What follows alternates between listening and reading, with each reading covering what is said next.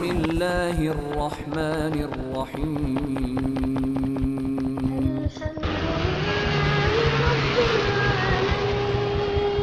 الرحمن الرحيم مالك يوم إياك نعبد وإياك نستعين اهدنا الصراط المستقيم Duduknya engkau sekali saja di majelis ilmu bisa jadi itu menjadi sebab modal untuk kamu masuk ke dalam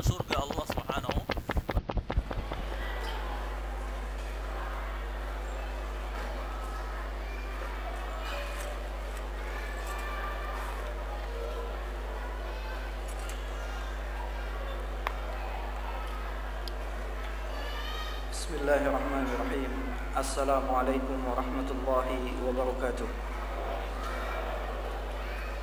إن الحمد لله نحمده ونستعينه ونستغفره ونعوذ بالله من شرور أنفسنا وسيئات أعمالنا. من يهده الله فلا مضل له ومن يضلل فلا هادي له. أشهد أن لا إله إلا الله وحده لا شريك له وأشهد أن محمدا عبده ورسوله. اللهم صل وسلم وبارك على نبينا محمد وعلى آله وصحبه وسلم. يا أيها الذين آمنوا اتقوا الله حق تقاته ولا تموتن إلا وأنتم مسلمون. يا أيها الناس اتقوا ربكم الذي خلقكم من نفس واحدة وخلق منها زوجها وبث منهما رجالا كثيرا ونساء. واتقوا الله الذي تساءلون به والأرحام. إن الله كان عليكم رقيبا. يا أيها الذين آمنوا اتقوا الله وقولوا قولا سديدا. يصلح لكم أعمالكم ويغفر لكم ذنوبكم. ومن يطع الله ورسوله فقد فاز فوزا عظيما. أما بعد فإن أصدق الحديث كتاب الله وخير الهدي هدي محمد صلى الله عليه وسلم وشر الأمور محدثاتها وكل محدثة بدعة وكل بدعة ضلالة وكل ضلالة في النار. إخواني وأخواتي أعزني الله وإياكم. الحمد لله kita panjatkan puji dan syukur kehadirat Allah Subhanahu wa taala yang telah mempertemukan kita di masjid yang mulia ini di dalam rangka talabul ilmi yang merupakan kita sebagai ilmu yang akan mendapatkan ilmu yang dengannya kita bisa semakin mendekatkan diri kepada Allah Subhanahu wa taala dan bisa menjadi bekal dan pemberat timbangan kita pada hari kiamat nanti. Tak lupa salawat dan salam mudah-mudahan dicurahkan kepada Nabi Muhammad sallallahu alaihi wasallam yang telah membawa umatnya dari zaman kegelapan menuju terangnya Islam beserta para sahabat, para istri dan pengikut setianya hingga akhir zaman. Ikhwani wa akhwati azzani Allah wa iyyakum. Insyaallah kita akan bersama-sama membahas mempelajari tentang manfaat dan keutamaan menegakkan sunnah Nabi sallallahu alaihi wasallam di mana sunnah Rasulullah sallallahu alaihi wasallam merupakan salah satu pegangan salah satu yang dijadikan sebagai rujukan dan dalil dalam menjalankan agama Allah Subhanahu wa taala. Selain Al-Qur'an, kita pun membutuhkan as-sunnah. Sunnah Rasulullah sallallahu alaihi wasallam yang dengannya kita akan bisa mendapatkan kejelasan penjelasan Rasulullah sallallahu alaihi wasallam dalam melaksanakan syariat Allah Subhanahu wa taala. Walaupun terkadang banyak di antara kaum muslimin yang meremehkan sunnah Rasulullah sallallahu alaihi wasallam. Mereka tidak memberikan perhatian terhadap sunnah Rasulullah sallallahu alaihi wasallam dan banyak di antara kaum muslimin yang mengaku cinta kepada Rasulullah sallallahu alaihi wasallam namun mereka mengabaikan perintah dan larangan Rasulullah sallallahu alaihi wasallam seakan-akan mereka tidak butuh dengan bimbingan Rasulullah sallallahu alaihi wasallam. Dan banyak juga di antara kaum muslimin ketika dikatakan kepada mereka bahwasanya kewajiban kita adalah mengamalkan sunnah Rasulullah sallallahu alaihi wasallam. Namun dengan nada meremehkan mereka mengatakan ah itu kan hanya sunnah Rasulullah sallallahu alaihi wasallam saja. Kita tidak berkewajiban melaksanakan sunnah. Yang wajib kita amalkan hanyalah Al-Quran. Ini merupakan kalimat-kalimat yang dapat menjadikan seseorang kufur. Seseorang menjauh dari bimbingan Rasulullah sallallahu alaihi wasallam. Dan yang lebih dari itu banyak orang-orang yang mengaku cinta kepada Rasulullah sallallahu alaihi wasallam mereka membenci sunnah Rasulullah sallallahu alaihi wasallam. Hal yang sangat aneh bagi orang yang berakal sehat ketika dia mengatakan cinta kepada Rasulullah sallallahu alaihi wasallam namun benci terhadap sunnah dan membenci orang-orang yang menjalankan, menghidupkan serta berpegang teguh dengan sunnah Rasulullah sallallahu alaihi wasallam. Pasti orang yang berakal sehat tidak bisa menerima hal itu.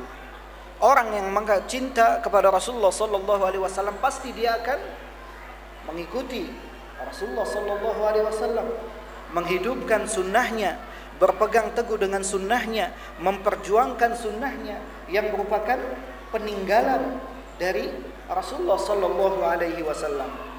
Dan ada banyak hal yang menjadikan seseorang menjadikan seseorang membenci sunnah Rasulullah sallallahu alaihi wasallam. Ada beberapa hal yang menjadikan seseorang membenci kepada Rasulullah sallallahu alaihi wasallam yang salah satu di antaranya adalah ketidaktahuan mereka akan manfaat dan keutamaan bagi orang-orang yang menjalankan ataupun berpegang teguh dengan sunnah Rasulullah sallallahu alaihi wasallam.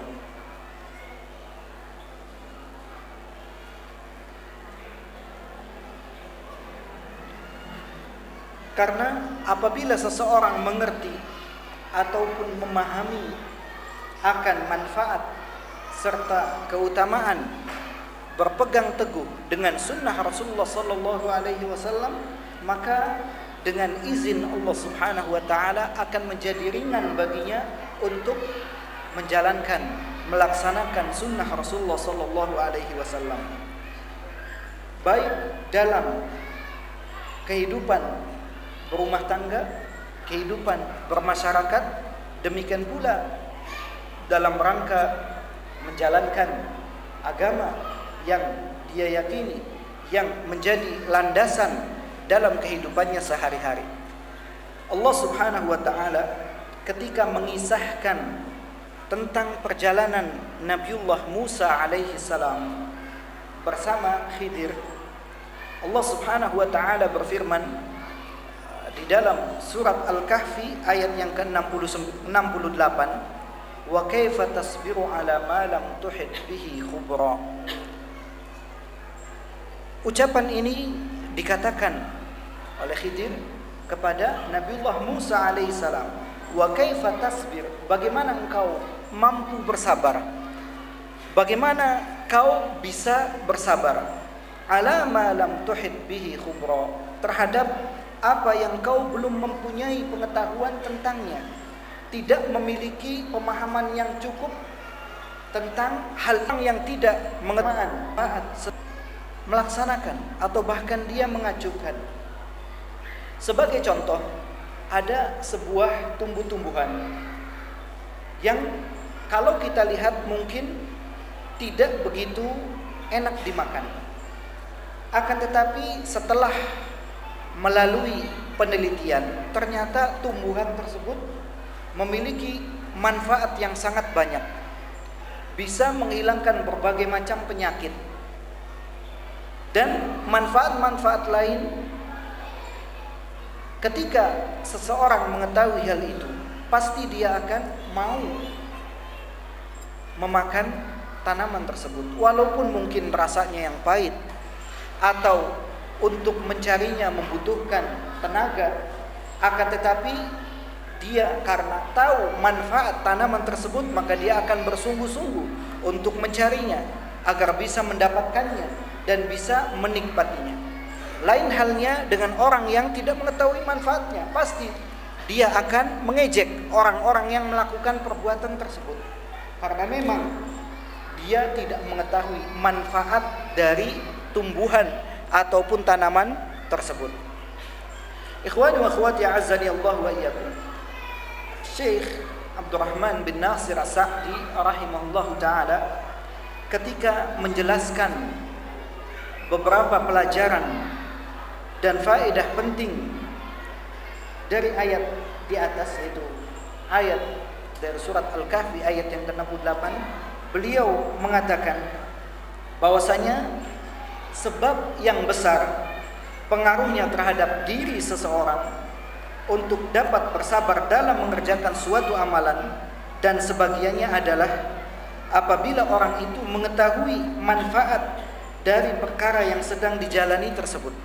Kalau dia tahu manfaat apa yang akan dia jalani, maka dia akan bisa melaksanakannya. Sedangkan orang yang tidak mengetahui hakikatnya atau tidak mengerti tujuan dan hasil akhirnya, maka sulit baginya untuk dapat bersabar, dalam menjalani perbuatan tersebut. Karena memang dia tidak mengetahui apa manfaat, apa yang akan dia dapatkan. Namun orang-orang yang mengetahui manfaat serta tujuan dari melakukan sesuatu, maka dia akan bisa dan mampu serta terasa enteng olehnya, terasa mudah olehnya untuk melaksanakan hal tersebut. Ikhwani wa akhwati azani Allah wa iyyakum agar kita mudah serta terasa gampang untuk berpegang teguh dan menjalankan sunnah Rasulullah sallallahu alaihi wasallam maka kita pun harus tahu apa manfaat serta keutamaan bagi orang-orang yang berpegang teguh dengan sunnah Rasulullah sallallahu alaihi wasallam apa manfaat dan keutamaan, apa faedahnya kita menjalankan sunnah Rasulullah Sallallahu Alaihi Wasallam. Apa saja yang akan kita peroleh, baik di dunia ataupun di akhirat, sehingga hal itu akan menjadi motivasi bagi kita dalam melaksanakan sunnah Rasulullah Sallallahu Alaihi Wasallam. Adapun manfaat serta keutamaan orang-orang yang melaksanakan menghidupkan berpegang teguh dengan sunnah Rasulullah Sallallahu Alaihi Wasallam di antaranya yang pertama yang ke satu yang pertama orang yang menjalankan sunnah Rasulullah Sallallahu Alaihi Wasallam berarti dia telah mengikuti perintah Allah Subhanahu Wa Taala orang yang menjalankan sunnah Rasulullah Sallallahu Alaihi Wasallam berarti dia telah mengikuti perintah Allah Subhanahu wa taala.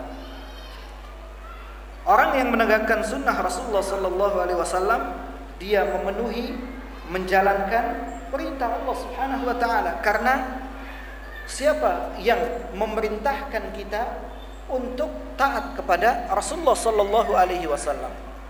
Siapa yang memerintahkan Rasulullah sallallahu alaihi wasallam? Jawabannya adalah Allah Subhanahu wa taala.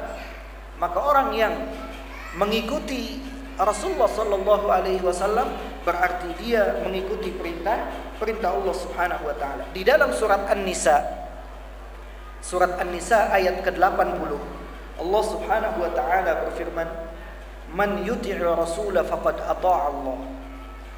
Barang siapa yang taat kepada Rasul, taat kepada Rasul yaitu melaksanakan perintahnya, menjauhi larangannya, melaksanakan sunnah-sunnah Rasulullah sallallahu alaihi wasallam. Maka kata Allah, faqad ata Allah. Sungguh dia telah mentaati mentaati Allah. Dia telah mentaati Allah Subhanahu wa taala. Syekh Abdurrahman bin Nasir As-Sa'di rahimahullah taala mengatakan maksudnya adalah bahwa setiap orang yang taat kepada Rasulullah sallallahu alaihi wasallam dalam hal perintah dan larangan beliau sungguh dia telah taat kepada Allah Subhanahu wa taala. Karena beliau tidak memerintah dan tidak melarang melainkan dengan perintah syariat wahyu dari kitabullah apa yang diucapkan oleh Rasulullah sallallahu alaihi wasallam adalah wahyu dari Allah Subhanahu wa taala. Rasulullah sallallahu alaihi wasallam tidak berkata dengan hawa nafsunya. Sebagaimana yang difirmankan oleh Allah Subhanahu wa taala dalam surat An-Najm ayat yang ketiga dan keempat wa ma yantiqu 'anil hawa in huwa illa wahyu yuha. Dan tidaklah dia Rasulullah sallallahu alaihi wasallam berbicara bertutur kata dari hawa nafsunya. In huwa illa wahyu yuha. Namun yang diucapkan itu adalah wahyu yang diwahyukan oleh Allah Subhanahu wa taala.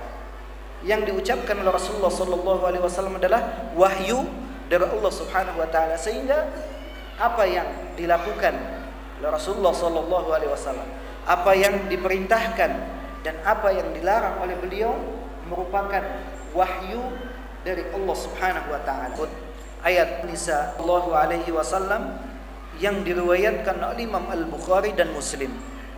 Imam Al-Bukhari dan Muslim meriwayatkan bahwasanya Rasulullah sallallahu alaihi wasallam bersabda, "Man ata'ani faqad ata' Allah, wa man asani faqad asallah." Man ata'ani barang siapa yang mentaatiku. Kata Nabi sallallahu alaihi wasallam, barang siapa yang mentaatiku, taat kepadaku, melaksanakan perintah dan menjauhi larangan, menjalankan sunnah Rasulullah sallallahu alaihi wasallam faqad ata'a Allah. Sungguh dia telah mentaati mentaati Allah. Wa man asani dan sebaliknya barang siapa yang durhaka kepadaku menyelisihiku. Menyelisihi siapa? Rasulullah sallallahu alaihi wasallam. Faqad asallah sungguh dia telah durhaka kepada Allah Subhanahu wa taala. Makanya dikatakan orang yang melaksanakan sunnah Rasulullah Sallallahu Alaihi Wasallam berarti dia telah melaksanakan perintah Allah.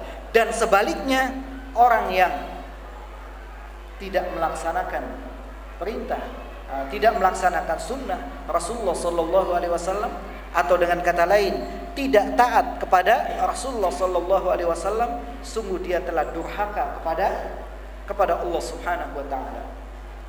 Ikhwani wa akhwati azzani Allah wa iyyakum. Kemudian yang kedua, manfaat dan keutamaan yang kedua. Bahwasanya orang yang menjalankan melaksanakan sunnah Rasulullah sallallahu alaihi wasallam berarti dia telah membuktikan cinta membuktikan cintanya kepada kepada Allah Subhanahu wa taala. Betapa banyak orang yang mengaku cinta kepada Allah. Bahkan seluruh umat Islam mengaku cinta kepada kepada Allah. Masing-masing kita mengaku cinta kepada kepada Allah. Namun apakah Allah Subhanahu wa taala cinta kepada kita atau justru sebaliknya? Justru Allah Subhanahu wa taala murka kepada kita. Pernahkah kita menimbang apa yang kita lakukan? Kita mengaku cinta kepada Allah, namun pengakuan kita sudahkah ditimbang dengan apa yang ditentukan oleh Allah Subhanahu wa taala? Di dalam surat Ali Imran ayat yang ke-31, surat Ali Imran ayat ke-31 Allah Subhanahu wa taala berfirman, "Qul in kuntum tuhibbunallaha fattabi'uni yuhibbukumullah wa yaghfir lakum dzunubakum." Kata Allah Subhanahu wa taala, Qul katakan ya Muhammad in kuntum tuhibbuna Allah.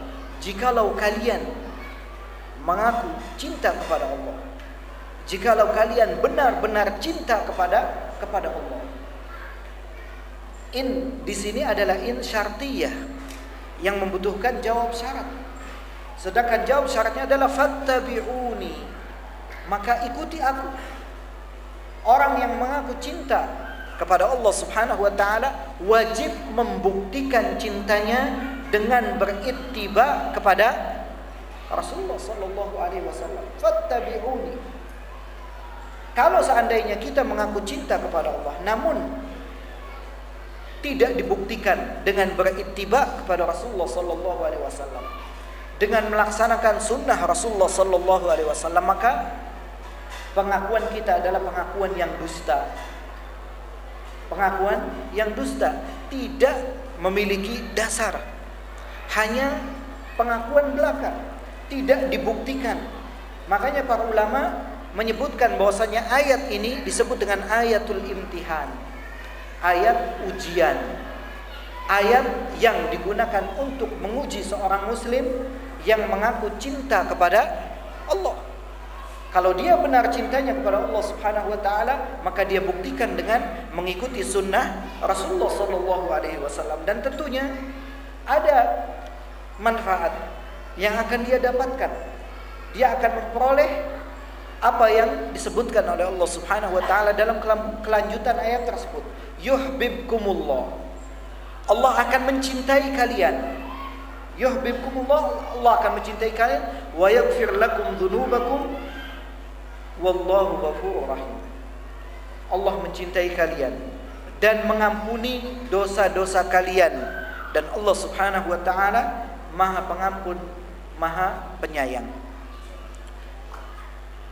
Seperti yang tadi dikatakan bahwasanya banyak di antara kita yang mengaku cinta kepada Allah. Namun apakah Allah cinta kepada kita? Karena kalau kita mengaku cinta kepada Allah, namun Allah Subhanahu wa taala tidak mencintai kita berarti namanya apa? Cinta yang bertepuk sebelah sebelah tangan. Enak apa tidak? Hah? Cinta bertepuk sebelah tangan. Kalau kata itu sakitnya di sini. Kalau kita cinta kepada seseorang ternyata orang yang kita cintai tidak tidak cinta kepada kita, sakit hati ini. Kita mengaku cinta kepada Allah, tapi Allah Subhanahu wa taala tidak cinta kepada kita, betapa sakit. Maka kalau kita ingin dicintai oleh Allah Subhanahu wa taala, maka harus buktikan dengan berittiba kepada Rasulullah sallallahu alaihi wasallam.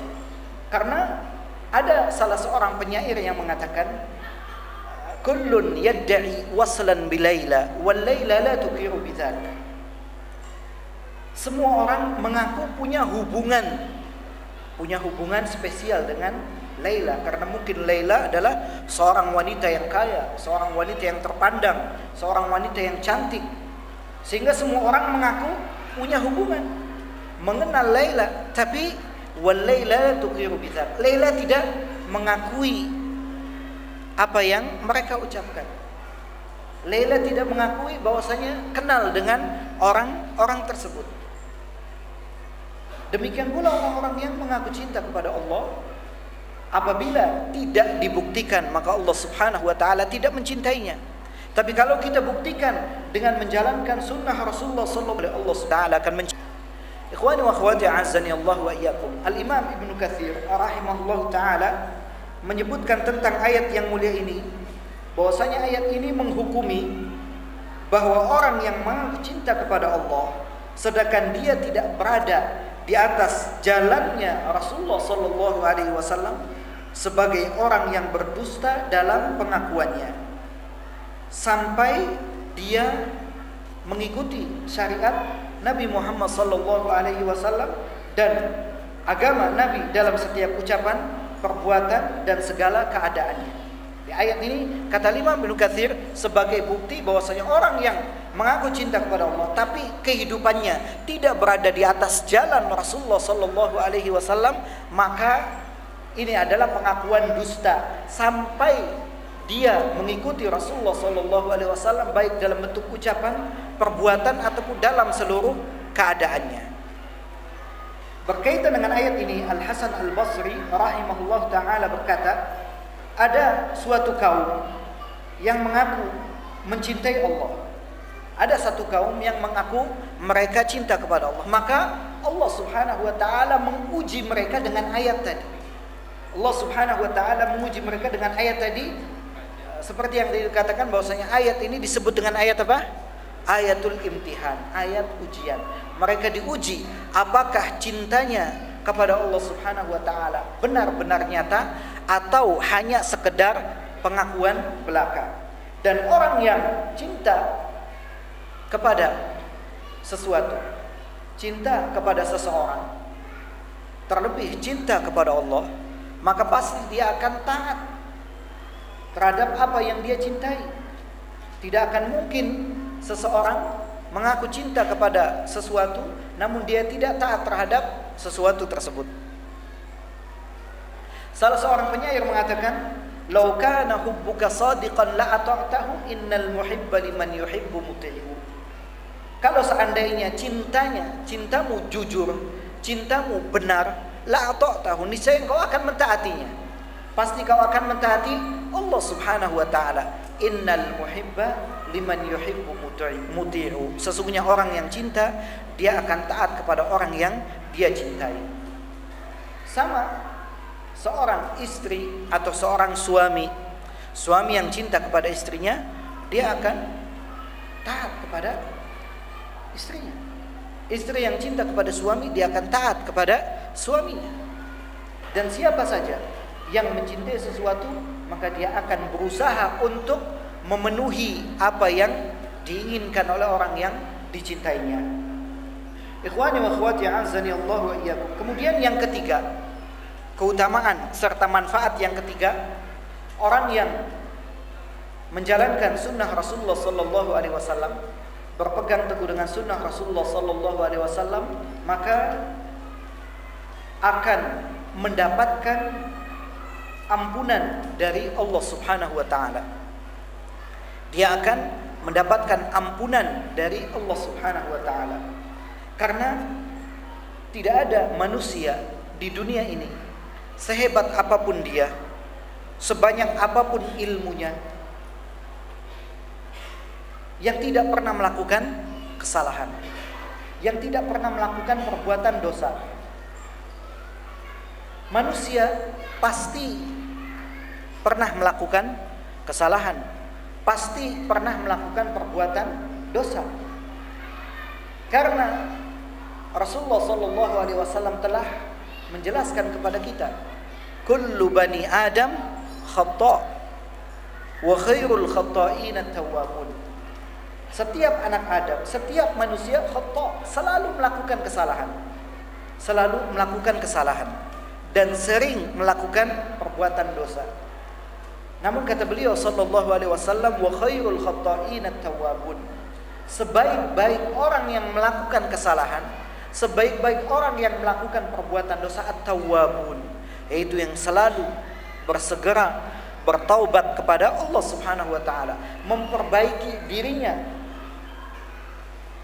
Karena kita manusia banyak melakukan kesalahan, banyak melakukan dosa, maka kita butuh ampunan Allah Subhanahu wa taala. Kita butuh ampunan Allah Subhanahu wa taala. Sebagaimana tadi disebutkan dalam surat Ali Imran ayat yang ke-31 disebutkan yuhibbukumullah wa yaghfir lakum dzunubakum.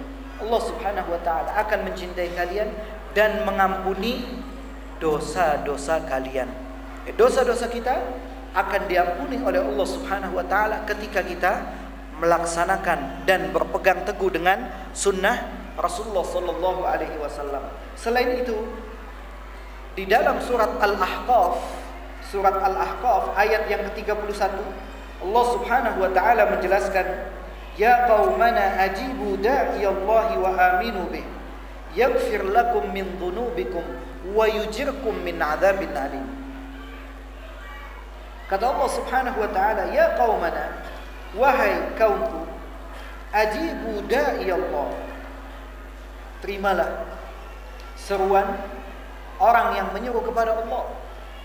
Penuhi panggilan dai yang menyeru ke jalan Allah Subhanahu wa taala. Wa aminu bih dan berimanlah kepadanya. Apabila kita memenuhi seruan Rasulullah sallallahu alaihi wasallam yang merupakan utusan. Allah Subhanahu wa taala beriman kepadanya.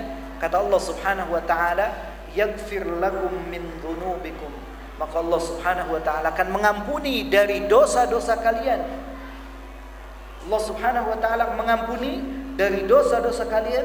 Wa yujirkum min adzabin alim. Dan Allah Subhanahu wa taala akan menyelamatkan menyelamatkan min adzabin alim dari azab dari siksa yang sangat yang sangat pedih.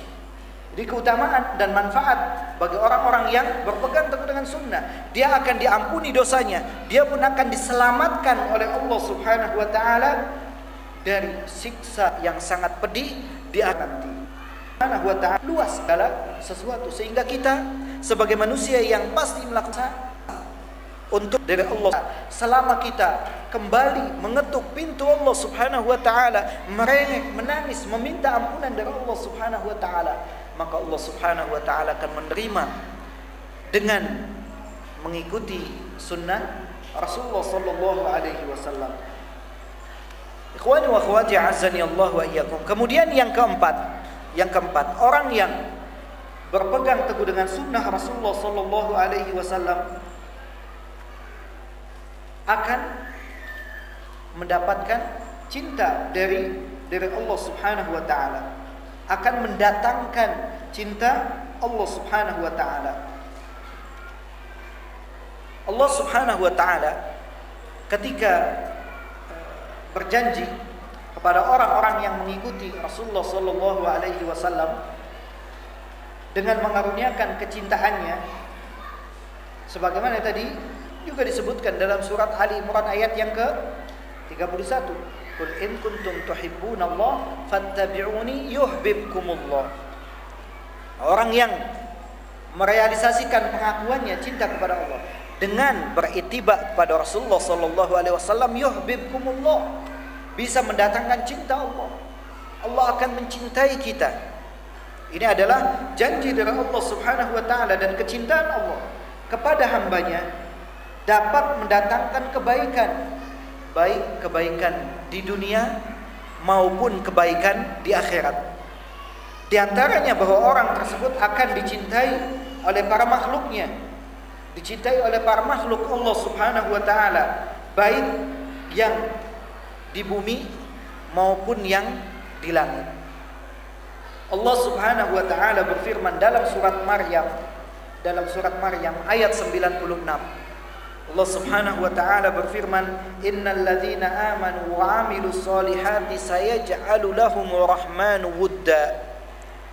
Kata Allah, "Innal ladzina amanu," sesungguhnya orang-orang yang beriman, wa 'amilus solihat dan beramal saleh, saya ja'alu lahumur rahmanu wudda. Allah akan menjadikan baginya, menjadikan bagi mereka wudda. Kasih sayang, rasa cinta. Orang-orang yang berada di dunia akan cinta kepadanya, cinta kepada orang-orang yang menjalankan sunnah Rasulullah sallallahu alaihi wasallam. Hal itu pun dijelaskan oleh Rasulullah sallallahu alaihi wasallam dalam hadis yang diriwayatkan oleh Bukhari dan Muslim Rasulullah sallallahu alaihi wasallam bersabda Inna Allah idza ahabba 'abdan إذا أحب عبدا دعا جبرائيل عليه السلام فقال إني أحب فلانا فأحبه. قال فيحبه جبرائيل فينادي في السماء فيقول إن الله يحب فلانا فأحبوه فيحبه أهل السماء. قال ثم يوضع له القبول في الأرض. قد رسول الله صلى الله عليه وسلم in Inna Allah idza ahabba 'abdan sesungguhnya Allah Subhanahu wa taala apabila mencintai seorang hamba apabila Allah Subhanahu wa taala mencintai seorang hamba maka da'a Jibril alaihissalam Allah Subhanahu wa taala memanggil memanggil Jibril alaihissalam. Faqala Kemudian ketika Jibril telah datang menghadap Allah Subhanahu wa taala, Allah Subhanahu wa taala mengatakan kepadanya, "Inni uhibbu fulanan fa ahibbah." Allah Subhanahu wa taala mengatakan kepada Jibril, "Sesungguhnya saya mencintai si fulan, maka cintai si fulan." Para malaikat yang dikatakan oleh Allah Subhanahu wa taala, "La ya'sunallah." Tidak ada yang durhaka kepada Allah. Ketika diperintahkan untuk cinta kepada orang tadi, maka tidak ada kata lain kecuali dia mencintainya. Malaikat Jibril mencintai orang tadi. Qala fayuhibbuhu Jibril. Maka orang tadi dicintai oleh Jibril. Thumma yunadi fis sama. Kemudian malaikat Jibril mengumandangkan di langit. Fayaqul Allah uh, malaikat Jibril mengatakan kepada para malaikat yang berada di langit yang jumlahnya tidak ada yang tahu kecuali Allah Subhanahu wa taala innallaha yuhibbu fulanan fahib fahibbu. Kata Jibril sesungguhnya Allah Subhanahu wa taala mencintai si fulan maka cintailah si fulan. Fayuhibbuhu ahlus sama. Maka penduduk langit para malaikat yang berada di langit semuanya mencintai si fulan. Kemudian qala Nabi sallallahu alaihi wasallam melanjutkan thumma yudha'u al-qabulu fil ard. Kemudian orang tadi diterima oleh penduduk bumi. Seluruh penduduk bumi mencintainya. Dan yang dimaksud penduduk bumi mencintainya adalah orang-orang yang bertakwa, orang-orang yang soleh. Makanya kita saksikan, kita lihat orang-orang yang mencintai sunnah Rasulullah Sallallahu Alaihi Wasallam melaksanakan berpegang teguh dengan sunnah Rasulullah Sallallahu Alaihi Wasallam disenangi oleh orang-orang yang saleh, orang-orang yang bertakwa. Adapun orang-orang yang benci, orang-orang yang benci ini dipertanyakan tentang keimanan dan ketakwaannya. Apabila ada seseorang yang membenci orang yang menjalankan sunnah Rasulullah Sallallahu Alaihi Wasallam berarti dia masih belum sempurna keimanan dan ketakwaannya. Ikhwani wa akhwati azani Allah wa iyyakum. Harim bin Hayyan rahimahullahu taala mengatakan, tidaklah seorang hamba menghadapkan hatinya kepada Allah seseorang hamba yang menghadapkan hatinya kepada Allah melainkan Allah menghadapkan hati-hati kaum mukminin kepadanya sampai Allah memberi memberinya rizki berupa kecintaan mereka kepadanya. Jadi orang yang betul-betul menghadapkan hatinya kepada Allah maka kaum mukminin orang-orang yang beriman akan mencintainya. Terserah. Adapun orang-orang yang ahli maksiat orang-orang yang tidak suka dengan sunnah Rasulullah Sallallahu Alaihi Wasallam dia tidak senang. Ini perkara yang lain. Yang penting adalah orang-orang yang beriman cinta kepada kepada kita. Ikhwani wa akhwati azani Allah wa iyyakum. Kemudian yang kelima. Yang kelima. Orang yang menjalankan sunnah Rasulullah Sallallahu Alaihi Wasallam dia akan mendapatkan kunci utama keselamatan dari kesesatan. Dia mendapatkan kunci utama keselamatan dari jalan satan dan kebinasaan di dunia dan di akhirat sangat banyak.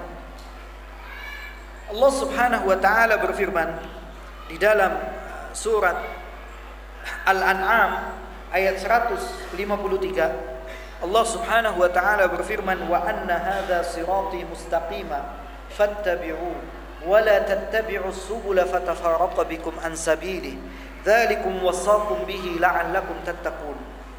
Kata Allah Subhanahu wa taala wa anna hadza sirati mustaqima. Dan sesungguhnya ini adalah jalanku yang lurus. Ini adalah jalanku yang lurus.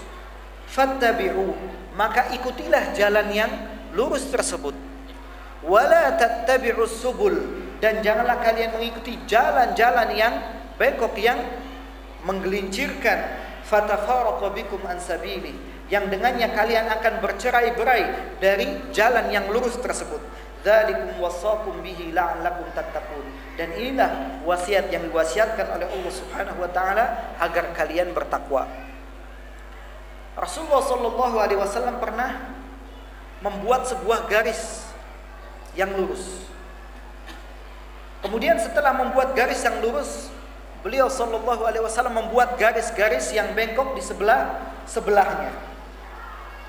Kemudian setelah membuat garis tersebut, Rasulullah Shallallahu Alaihi Wasallam membacakan ayat tadi. Kata wahada sabilullah. Jalan yang lurus ini adalah jalannya Allah. Adapun jalan-jalan yang bengkok itu adalah jalannya setiap jalan ada setan, ada dai yang menyeru mengajak kepada neraka jahanam. Jalan Allah Subhanahu wa taala hanyalah satu, jalan yang lurus. Adapun jalan-jalan yang lain ada jalan yang menggelincirkan seseorang kepada kesesatan. Dan Rasulullah Shallallahu Alaihi Wasallam bersabda dalam hadis yang lainnya yang diriwayatkan oleh Al Hakim dan disahihkan oleh Syekh Albani, Inni qad taraktu fikum ma in ihtasamtum bihi falan tadillu abada. Kitab Allah wa sunnat Nabi. Kata Rasulullah sallallahu alaihi wasallam ini qad taraktu fikum. Sesungguhnya aku telah meninggalkan kepada kalian. Meninggalkan untuk kalian. Ma ini tasamtum bihi. Jikalau kalian berpegang teguh dengannya falan tadillu abada. Kalian tidak akan pernah tersesat ini jaminan dari siapa? Rasulullah sallallahu alaihi wasallam yang menjamin apabila kita mengikuti hal tersebut tidak akan pernah tersesat selama-lamanya. Apa? Kitab Allah wa sunnat Nabi Al-Quran dan sunnah nabinya sunnah Rasulullah sallallahu alaihi wasallam. Dan Al-Imam Az-Zuhri rahimahullah taala mengatakan telah sampai kepadaku dari para ulama terdahulu bahwa mereka mengatakan at-tamassuku bis sunnati najatun berpegang teguh dengan sunnah Rasulullah sallallahu alaihi wasallam adalah najat keselamatan karena sunnah Rasulullah sallallahu alaihi wasallam seperti ibarat safinatun Nuh. Perahu Nabi Nuh. Man raqibaha naja, orang yang naik perahu tersebut akan selamat.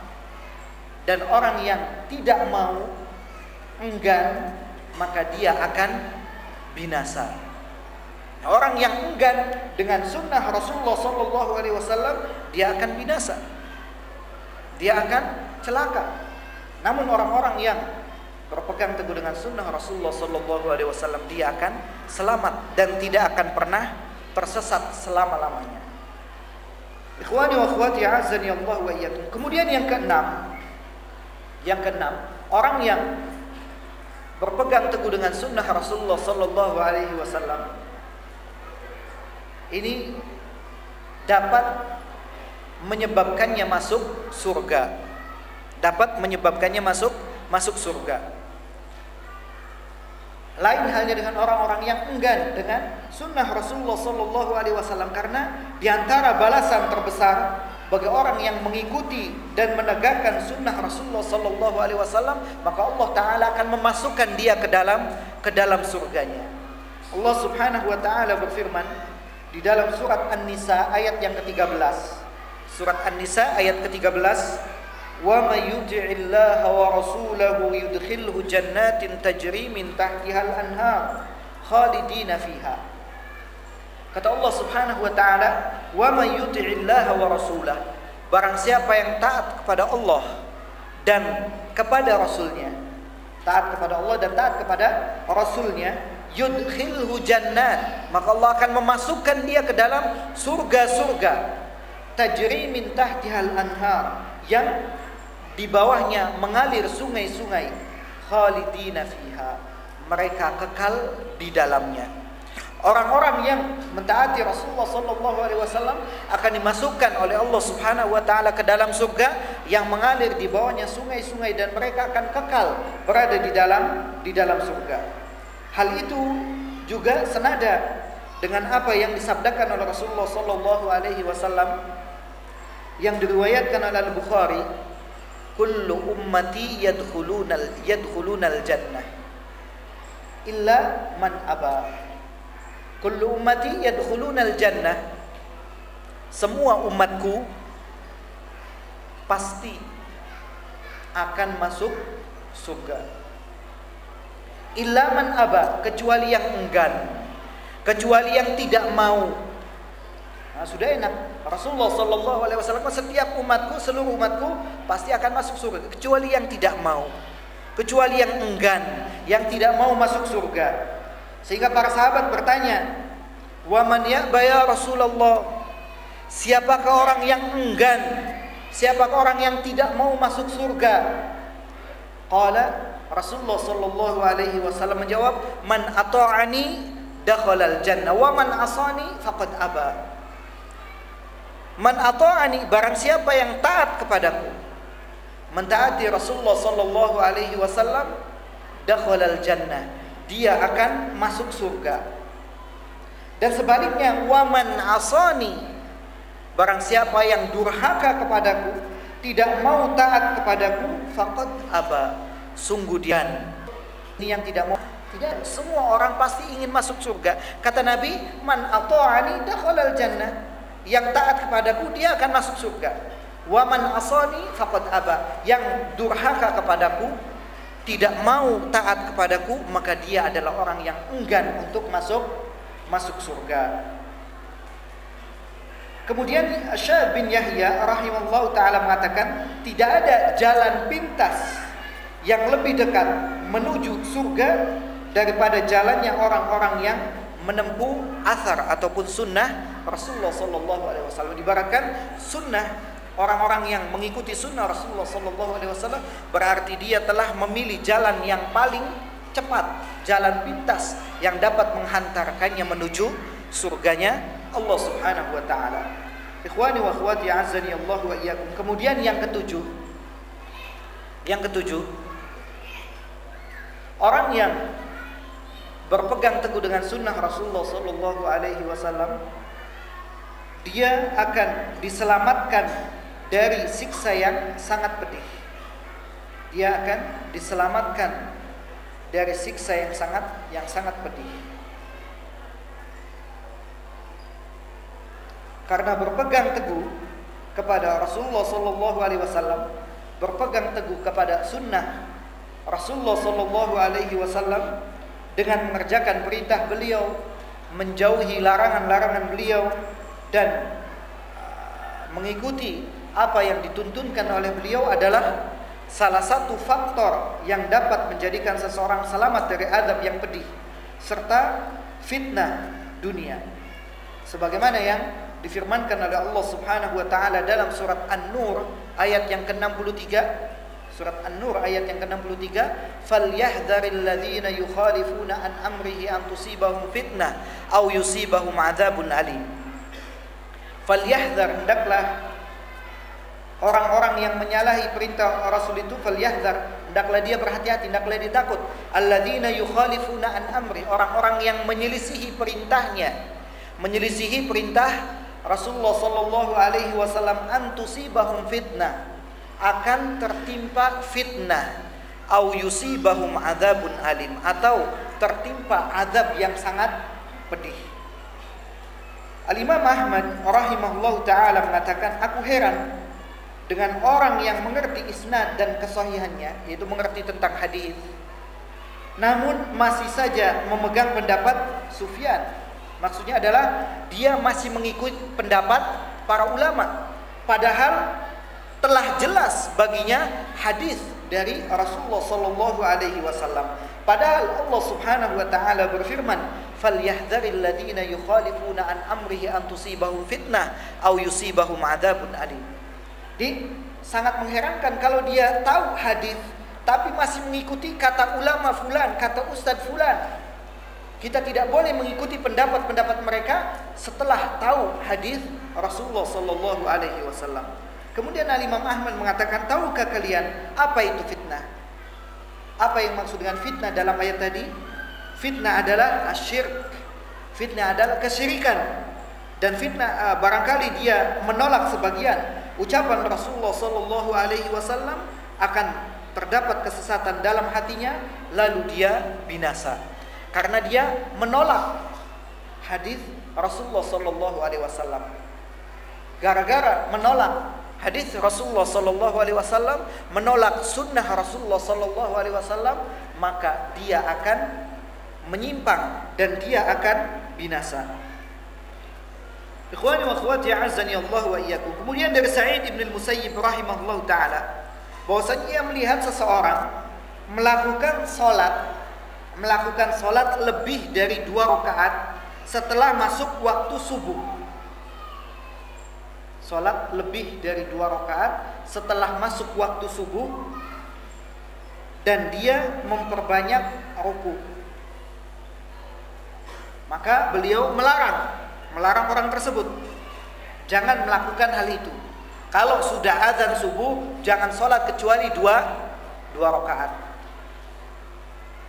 Kalau sudah masuk subuh, jangan sholat kecuali dua rakaat. Kenapa?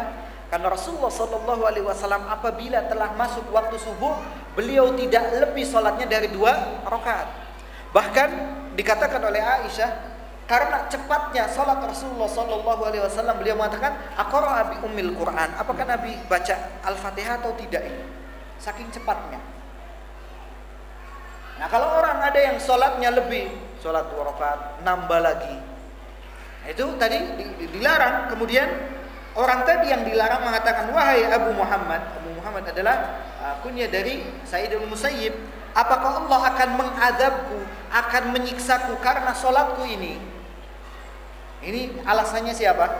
Alasan orang-orang yang biasanya kalau tekan kamu jangan melakukan itu. Karena perbuatan itu adalah perbuatan yang tidak dicontohkan oleh Rasul. Dia katakan apakah saya akan disiksa gara-gara melakukan ini? Atau gara-gara misalkan gara-gara solawat atau gara-gara apa? Ya apakah Allah akan menyiksa saya menghadap saya karena salat ini? Maka beliau menjawab la tidak. Akan tetapi Allah Subhanahu wa taala akan mengadabmu akan menyiksamu karena engkau telah menyelisihi sunnah Rasulullah sallallahu alaihi wasallam bukan karena salatnya bukan permasalahan salatnya tapi dia telah menyelisihi sunnah Rasulullah Sallallahu Alaihi Wasallam. Dan biasanya ini suka dibikin alasan. Ketika ada orang, eh, kamu jangan solawatan kalau nunggu nunggu komat. Ini di umum, secara umum. Oh, ini orang ini melarang solawat. Padahal tidak ada seorang muslim yang melarang solawat. Bahkan orang yang membaca solawat menunjukkan bahwasanya dia adalah cinta kepada Rasulullah Shallallahu Alaihi Wasallam. Namun perkaranya, apakah solawat yang dia baca maksur atau tidak? Apakah dicontohkan oleh Rasul atau tidak? Terus kaifiatnya, caranya, apakah menyelisihi Rasulullah Shallallahu Alaihi Wasallam atau tidak? Dan banyak contoh-contoh lainnya.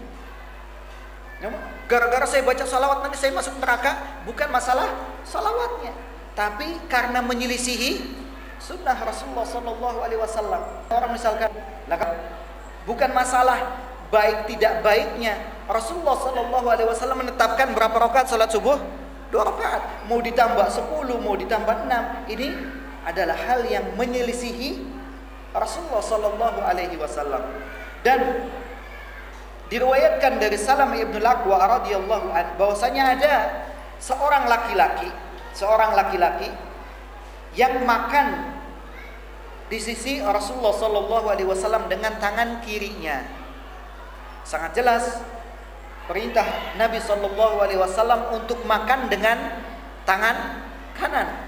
Pernah suatu ketika uh, Umar uh, ibnu Salamah radhiyallahu ketika masih kecil, ketika masih kecil makan bersama Rasulullah Shallallahu Alaihi Wasallam. Dia mengatakan, wakanat yadi tati sufis sofa. Tanganku itu ke sana kemari, nggak menetap di satu tempat.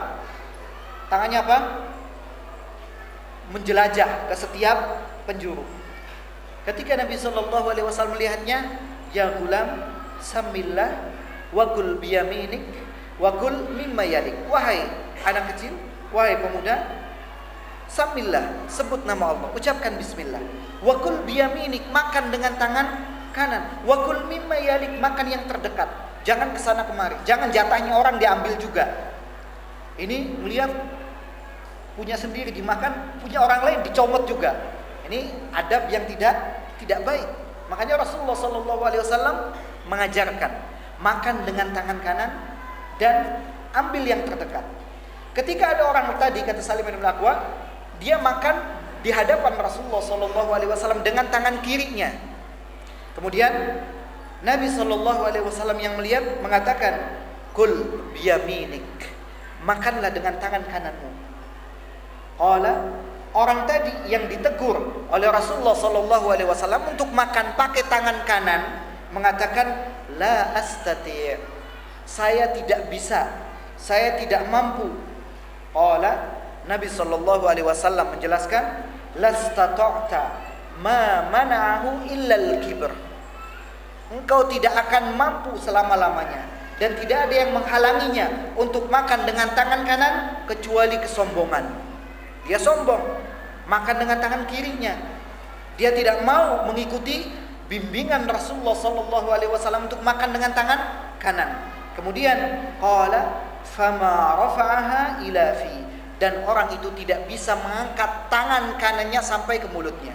Tangannya kalau orang sekarang penyakit apa namanya? Stroke waliyadzubillah. Kontan dibalas oleh Allah Subhanahu wa taala terhadap orang yang sombong terhadap sunnah Rasulullah sallallahu alaihi wasallam. Dan juga dari Abu Hurairah radhiyallahu an bahwasanya Rasulullah sallallahu alaihi wasallam melarang minum dari mulutnya teko. Teko, ceret tahu? Kan biasanya ada apa? Ada apanya? Ada kayak itunya, itu dari mulutnya. Nabi melarang. Kemudian Ayub mengatakan bahwasanya ada laki-laki, seorang laki-laki yang minum dari dari apa namanya? Dari mulut tekonya itu. Dari mulut ceretnya. Ini minum itu dalam rangka karena dia sombong dengan apa yang disabdakan oleh Nabi Shallallahu Alaihi Wasallam yang melarang minum dari mulut teko. Fakharajat hayya maka keluar ular dari dari mulut teko tersebut. Keluar seekor ular. Dan juga masih dari uh, apa namanya kisah-kisah yang menunjukkan balasan bagi orang-orang yang enggan terhadap sunnah Nabi Sallallahu Alaihi Wasallam bahwasanya Rasulullah Sallallahu Alaihi Wasallam pernah bersabda la yakhruju ba'dan nida'i minal masjid illa munafiq tidak ada orang yang keluar setelah azan dari masjid kecuali dia adalah orang munafik. Kita dilarang keluar masjid kalau sudah azan illa rajulun akhrajathu hajatun wa huwa yuridu raj'ata ilal masjid. Kecuali seseorang yang keluarnya itu karena ada kebutuhan ada hajat dan dia mau kembali lagi. Mau kembali ke masjid lagi. Jadi bukan berarti sudah sudah apa namanya sudah azan batal. Wah saya kalau keluar nanti jadi orang munafik ya, tidak keluar dia ada kebutuhan untuk apa untuk wudhu atau mau ke belakang dan dia berniat untuk kembali ke masjid. Yang dimaksudnya orang munafik adalah sudah azan, dia keluar dan tidak kembali lagi. Kemudian dia mengatakan bahwasanya ada sahabat-sahabatku yang diharam keluar dan uh, di, di, disebutkan bahwasanya orang-orang yang yang yang yang yang mengatakan hal itu dia akan selalu mengingat tidak akan keluar dari masjid kecuali ada hal yang mendesak dan dia pun kembali menuju masjid. Dan juga disebutkan tentang sabda Nabi sallallahu alaihi wasallam, "Idza stayqadha ahadun min naumihi fala yaghmis yadahu fil ina hatta yaghsilaha, fa innahu la yadri aina batat yadu."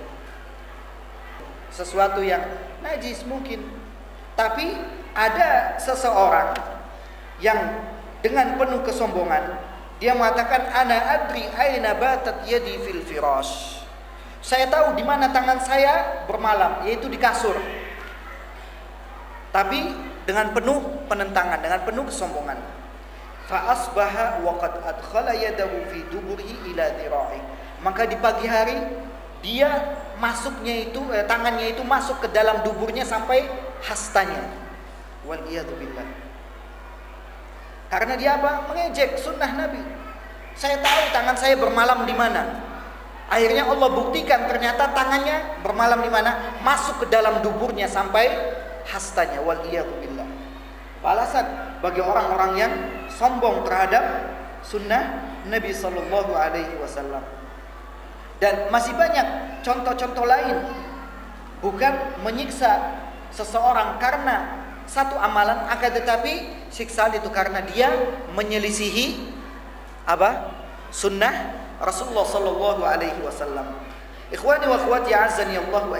Kemudian yang kedelapan, yang kedelapan, orang yang berpegang teguh dengan sunnah Nabi sallallahu alaihi wasallam akan menyelamatkannya dari kekufuran. Dia akan selamat dari kekufuran karena berpegang teguh dengan sunnah Rasulullah sallallahu alaihi wasallam.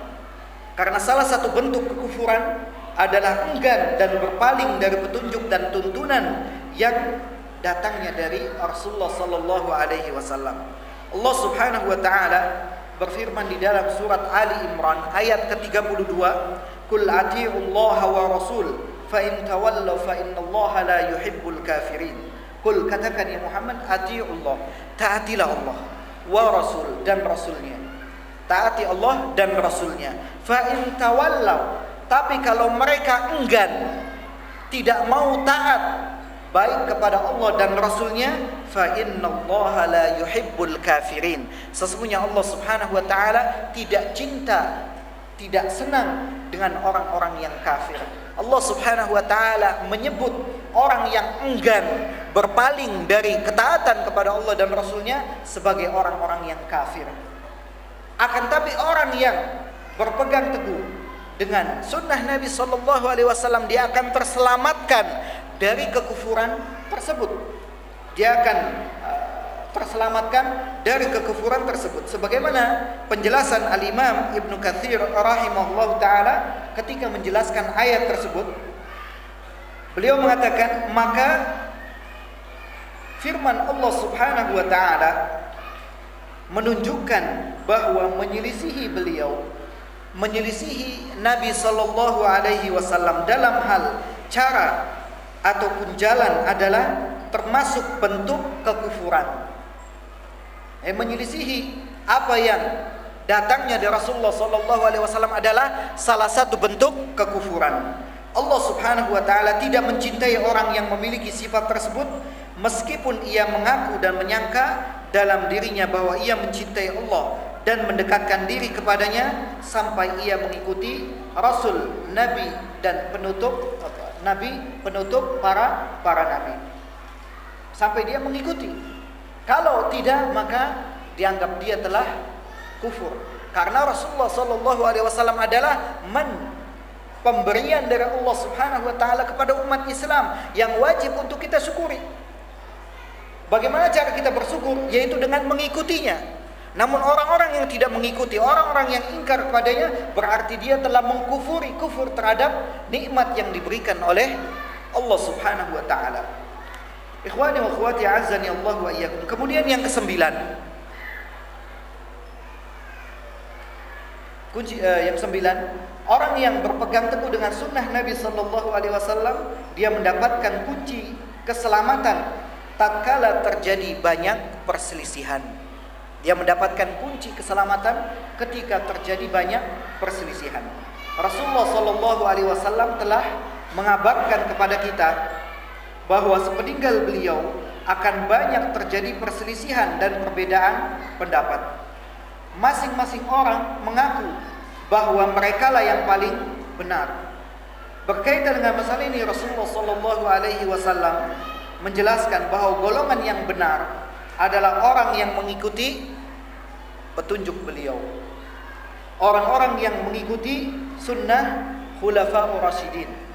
Nabi sallallahu alaihi wasallam bersabda, "Usikum bitaqwallah was-sam'i wat-tha'ah وإن عبدا حبشيا فإنه من يعش منكم فسيرى اختلافا كثيرا فعليكم بسنتي وسنة الخلفاء الراشدين المهديين تمسكوا بها وعضوا عليها بالنواجذ Kata Nabi Shallallahu Alaihi Wasallam, usikum bitaqwallah. Aku wasiatkan kepada kalian untuk bertakwa kepada kepada Allah. Wasam'i dan untuk selalu mendengar. Wat dan selalu taat. Kepada siapa? Wa in abdan habasyian. Kepada pemimpin walaupun pemimpin itu adalah seorang budak dari Habasyah. Ini adalah wasiat Rasulullah sallallahu alaihi wasallam kepada kita untuk selalu taat kepada para pemimpin. Walaupun pemimpin itu dikatakan wa in abdan habasyian. Disebutkan di dalam riwayat lain bahwasanya rambutnya itu ikal kecil-kecil hitam. Rambutnya kayak buah apa? Buah anggur. Sama sekarang ada orang-orang maaf yang wah kok presiden zaman sekarang? Kita kok kayak nggak pantas jadi presiden uh, tubuhnya ceking. Ini adalah merendahkan pemimpin dan ini tidak boleh. Karena menjadi pemimpin yang sah bagaimanapun bentuk fisiknya, bagaimanapun keadaannya kita wajib taat selama perintahnya tidak menyelisihi syariat. Walaupun badannya ceking, walaupun tidak pantas, selama dia menjadi pemimpin yang sah, maka kita wajib taat.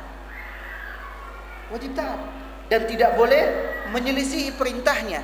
Selama perintahnya adalah perintah yang baik. Karena Nabi sallallahu alaihi wasallam bersabda innamat ta'atu fil ma'ruf. Sesungguhnya ketaatan itu pada hal-hal yang ma'ruf hal-hal yang baik.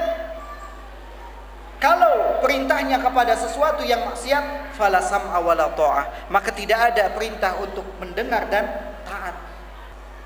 Kemudian Nabi ikhtilafan katsira Sesungguhnya barang siapa yang yang hidup setelah di antara kalian setelahku maka kalian akan melihat perselisihan yang sangat banyak. Fa'alaikum bisunnati. Kalau kalian melihat perselisihan yang sangat banyak, fa'alaikum bisunnati maka wajib atas kalian untuk mengikuti sunnahku. Wa sunnatil khulafa'ir rasyidin al-mahdiyyin dan mengikuti sunnahnya para khulafa'ur rasyidin yang mendapatkan petunjuk. Tamassaku biha, berpegang teguhlah dengannya. Wa'addu 'alaiha bin nawajid dan gigitlah dengan gigi-gigi geraham kalian. Kita diperintahkan oleh Rasulullah sallallahu alaihi wasallam untuk berpegang teguh, berpegang secara kuat dengan sunnah Nabi sallallahu alaihi wasallam, enggak setengah-setengah. Enggak main-main.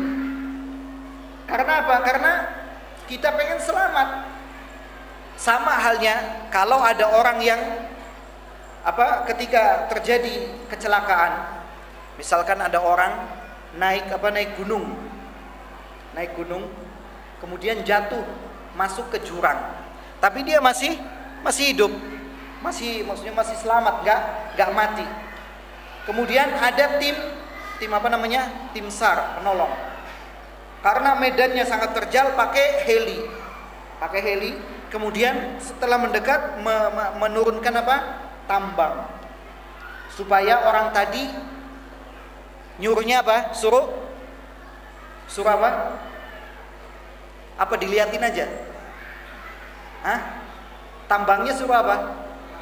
Di pegangnya asal pegang. Apa yang dia perintahkan? Pegang kuat-kuat. Kenapa suruh pegangnya kuat-kuat? Supaya bisa diselamatkan supaya bisa selamatkan. Bagaimana dengan orang yang oh ada tambang ya, dilihatin saja. Atau buat apa tambang? Dia mencemooh. Kira-kira selamat nggak? Hah? Selamat nggak? Atau mungkin ah saya cukup pegangan pelan-pelan saja, nggak usah kuat-kuat pegangnya. Ketika diangkat mungkin lepas. Tapi orang yang ingin selamat dia pasti akan memegang kuat.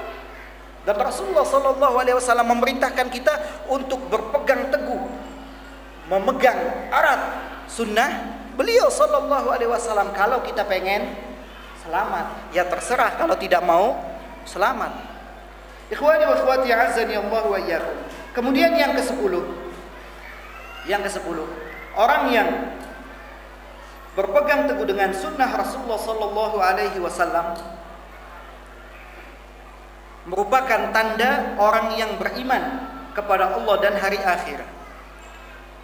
Merupakan tanda orang yang beriman kepada Allah dan hari akhir.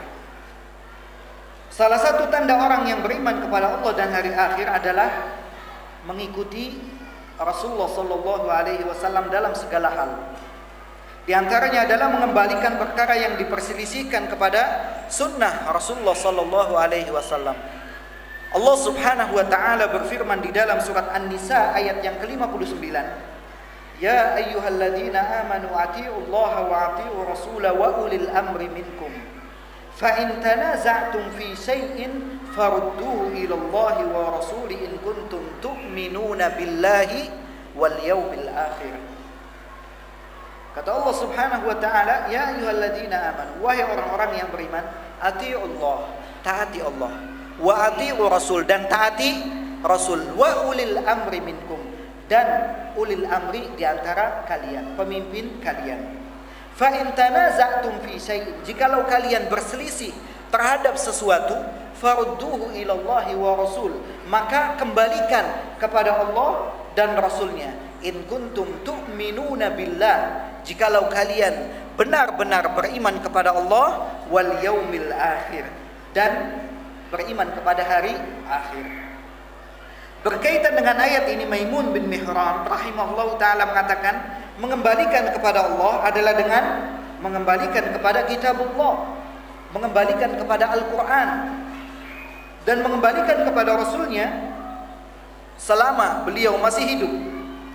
Adapun setelah beliau wafat maka dikembalikan kepada sunnah Rasulullah Sallallahu Alaihi Wasallam. Ketika para sahabat berselisih, mereka akan langsung mendatangi Rasulullah Sallallahu Alaihi Wasallam yang akan langsung diputuskan. Namun ketika Rasulullah Sallallahu Alaihi Wasallam telah wafat, maka kita kembalikan kepada sunnah beliau Sallallahu Alaihi Wasallam. Tadi katakan, in kuntum tu'minuna billahi wal yaumil akhir. Jikalau kalian benar-benar beriman kepada Allah dan hari akhir. Makanya orang yang beriman tandanya adalah dia orang yang mengikuti sunnah Rasulullah Sallallahu Alaihi Wasallam adalah tanda bahwasanya dia beriman kepada Allah dan hari hari akhir dan sangat banyak kaitannya antara beriman kepada Allah dan hari akhir. Makanya banyak di dalam ayat Al-Qur'an ataupun sunnah Rasulullah sallallahu alaihi wasallam yang menyebutkan man kana yu'minu billahi wal yaumil akhir falyakul khairan aw liyasmut. Sebutkan lagi yang lainnya, man kana yu'minu billahi wal yaumil akhir falyukrim jarahu. Man kana yu'minu billahi wal yaumil akhir falyukrim dhaifahu. Barang siapa yang beriman kepada Allah dan hari akhir, maka hendaklah dia berkata yang baik atau diam. Barang siapa yang beriman kepada Allah dan hari akhir, hendaklah dia memuliakan tetangganya. Barang siapa yang beriman kepada Allah dan hari akhir, hendaklah dia memuliakan tamunya. Dan banyak kaitan atau Rasulullah Shallallahu Alaihi Wasallam mengaitkan antara keimanan kepada Allah dan dan hari akhir. Ikhwani wa akhwati azani Allah wa iyyakum. Kemudian yang ke-11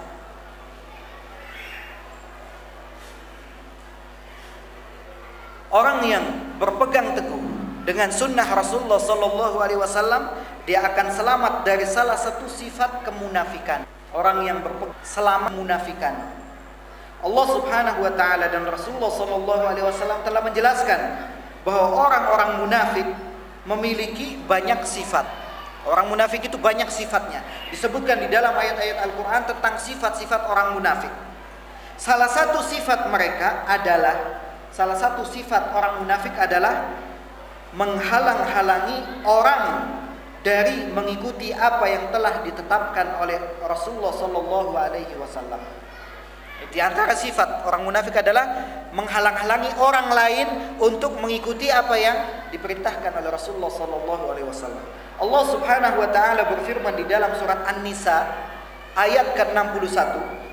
Wa idza qila lahum ta'alu ila ma anzalallahu wa ila rasul ra'aital munafiqina yasudduna 'anka sududa. Kata Allah Subhanahu wa taala wa idza qila lahum apabila dikatakan kepada mereka ta'alau kemari ila ma anzalallah kepada apa yang diturunkan oleh Allah. Maksudnya adalah Al-Qur'an. Wa ila rasul dan kepada rasul apa yang disabdakan beliau sunnah beliau sallallahu alaihi wasallam. Namun kata Allah raaital munafiqin engkau ya Muhammad melihat orang-orang munafik yasudduna anka sududa, menghalangi manusia dengan sekuat-kuatnya dari mendekatimu.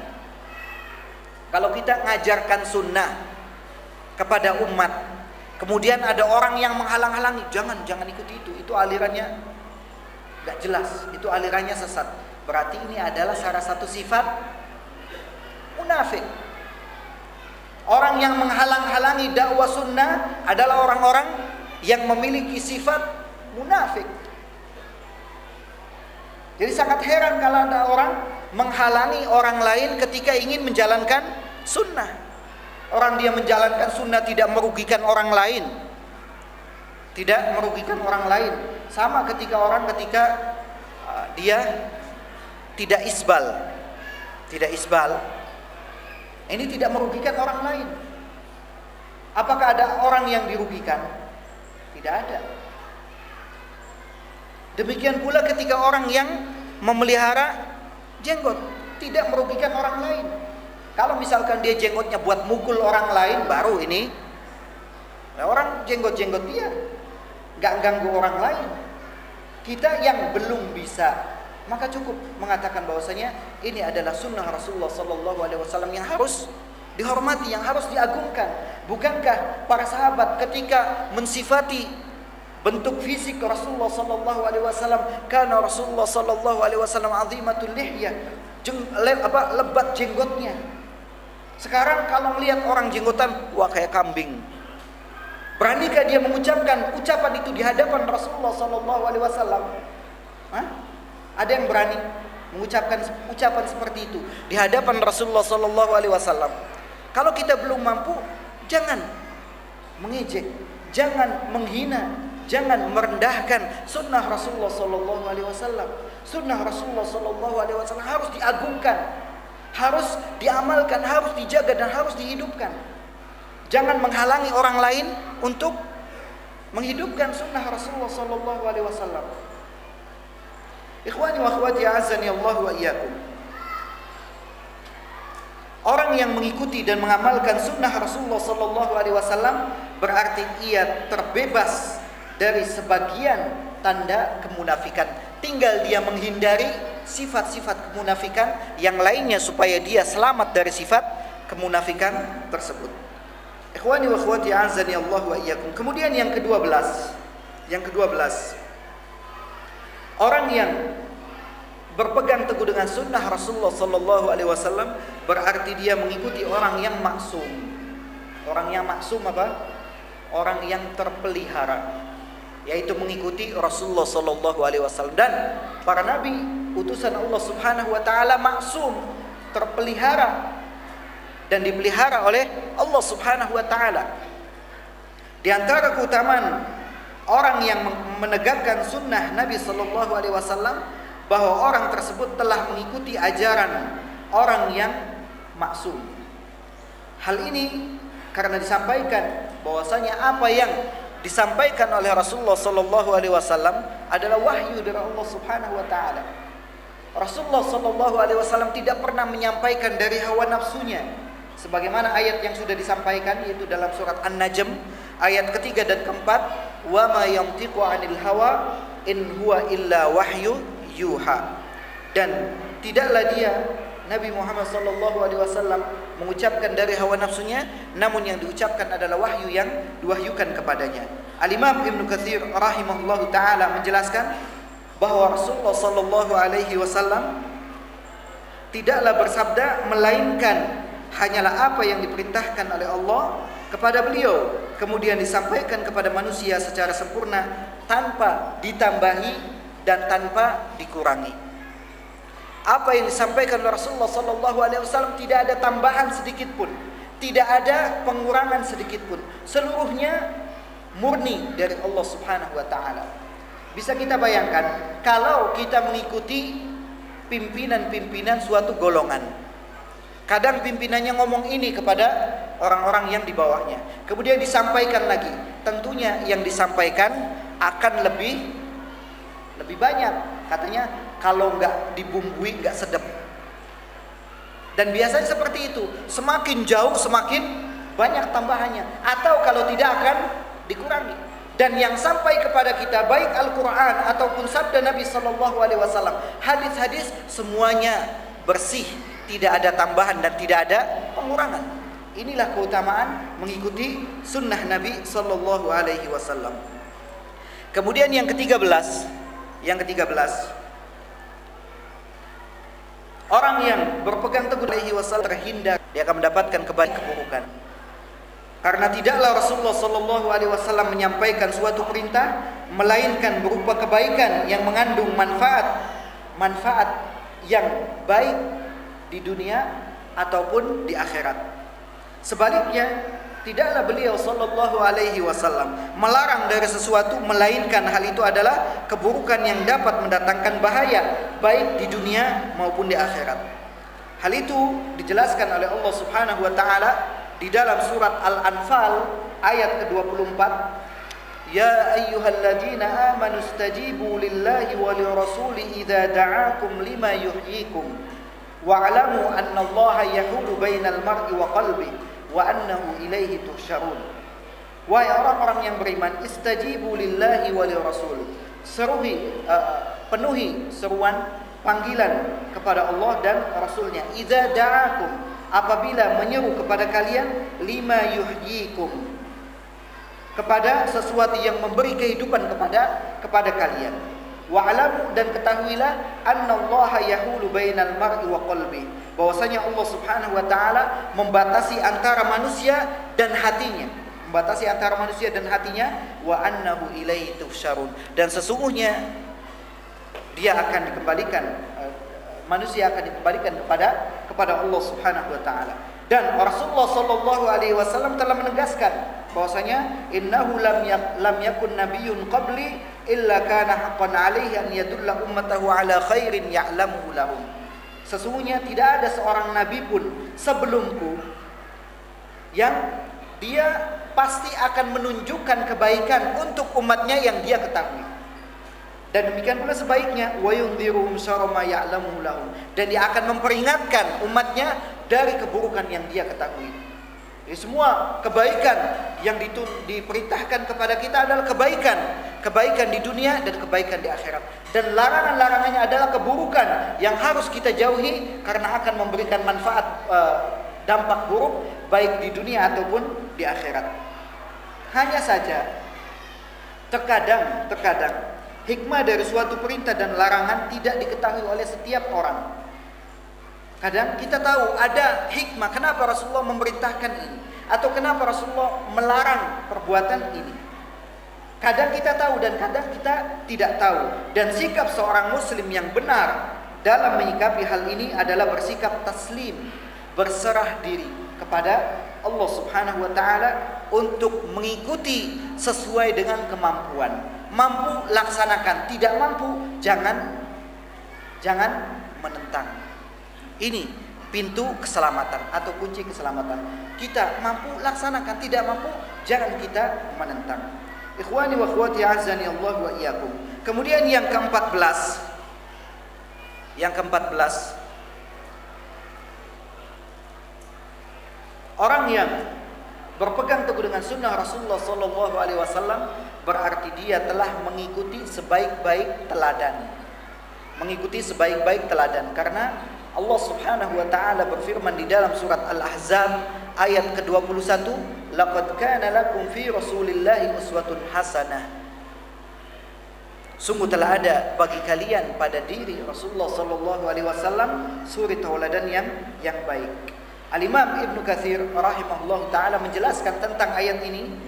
Ini adalah dasar yang agung dalam mengikuti Rasulullah sallallahu alaihi wasallam dalam ucapan-ucapannya perbuatan-perbuatannya dan keadaan-keadaan beliau.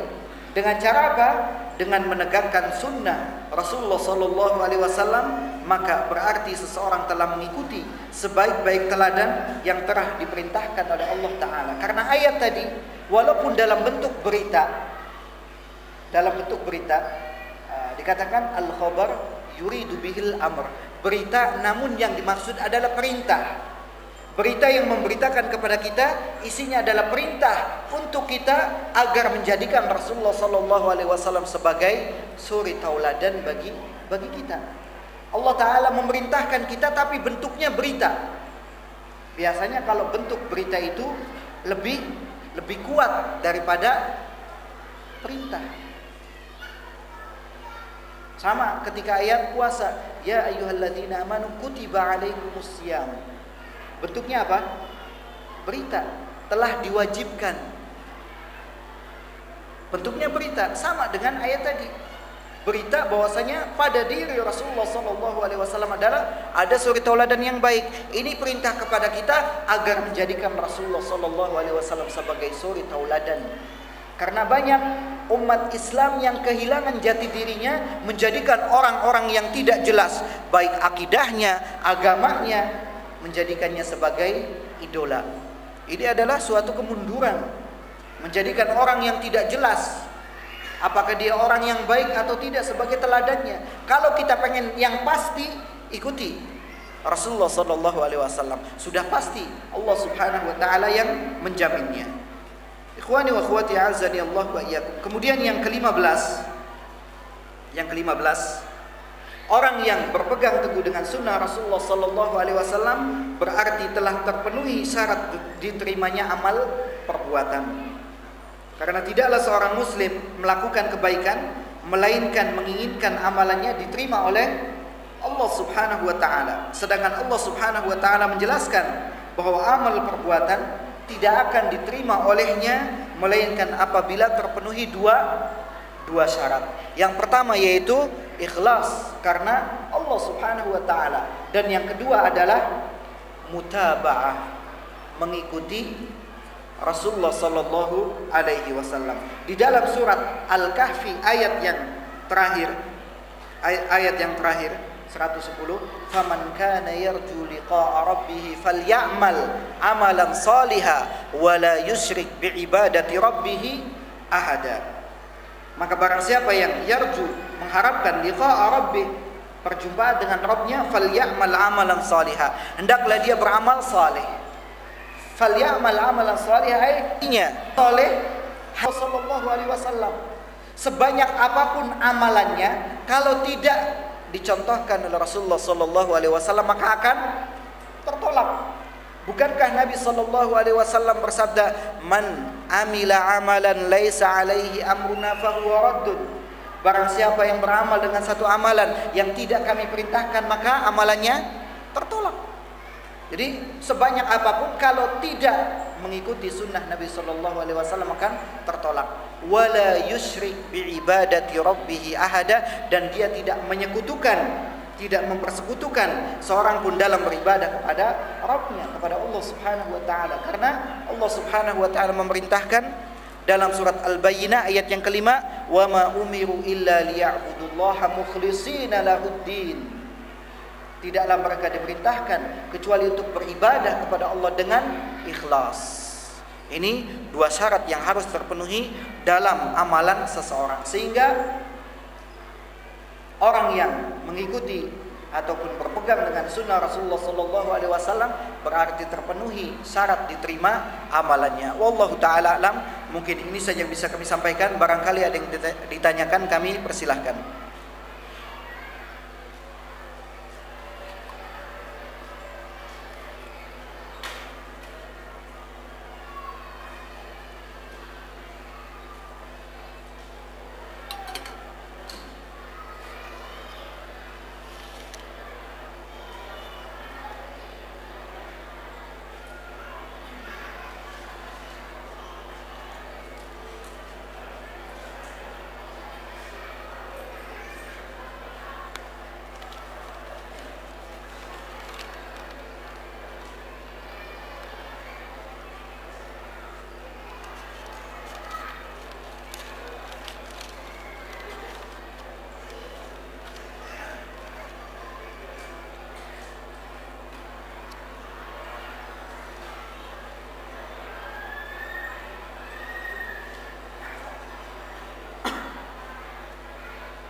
Alhamdulillah Salatu wassalamu ala rasulillah Wa ala alihi wa sahbihi wa man wala Wa la hawla wa la quwata illa billah amma ba'd. InsyaAllah kita lanjutkan dengan Menjawab pertanyaan-pertanyaan yang telah ada.